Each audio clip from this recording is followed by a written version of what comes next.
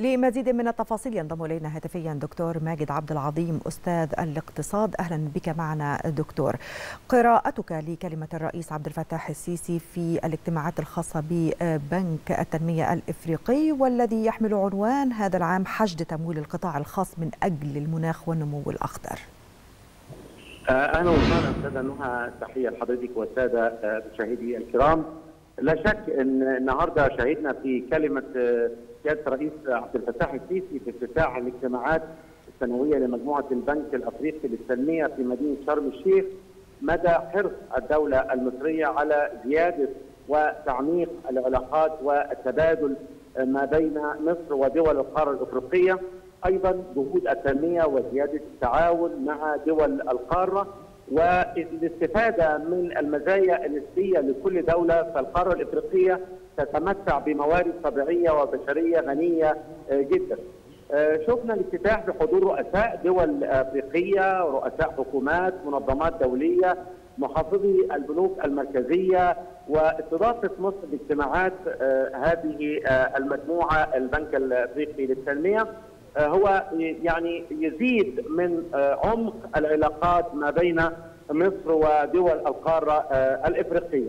طبعا لو شفنا يعني أو سألنا يعني إيه أو وضحنا يعني إيه البنك أو البنك الإفريقي للتنمية ده عبارة عن أحد مؤسسات التمويل الدولية الخاصة بالقاره الإفريقية ليه دور مهم جدا في تمويل المشروعات التنموية في القارة الإفريقية.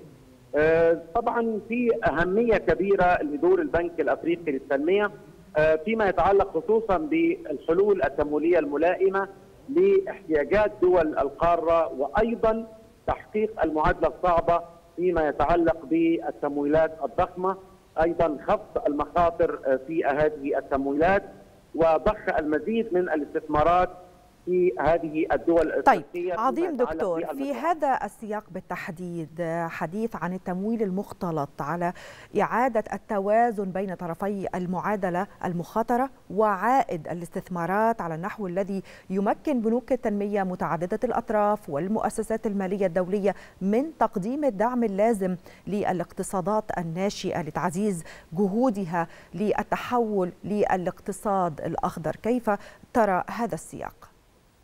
بدون شك أن فكرة التمويل المختلط تتمثل في الحصول على تمويل منخفض التكلفة ولكن من خلال استثمارات خارجية. بمعنى أن هناك تركيز أن تكون التمويلات من خلال استثمارات وليست من خلال ديون. آه لو آه نظرنا لوجدنا أن البنك قام بانشاء مؤسسة للأمن الدوائي واللقاحات وكان مصر لها دور مهم جدا في هذا الصدد. بالإضافة أيضا إلى أن البنك يقوم بتمويل مشروعات الطاقة الجديدة والمتجددة. أيضا التحول للأخضر أو ما يسمى بالاقتصاد الأخضر بهدف تحقيق طموحات تنموية. هذا الدور الذي يقوم به هذه أو الذي تقوم به هذه المؤسسة الدولية تعنى بقضايا التنمية داخل القارة الإفريقية. وأيضا تنمية المشروعات تحفيز القطاع الخاص للقيام بدور أكبر وأيضا مشروعات صديقة للبيئة. كل ذلك بهدف مزيد من التطور ومزيد من تحقيق معدلات نمو أكبر لدول القارة الإفريقية.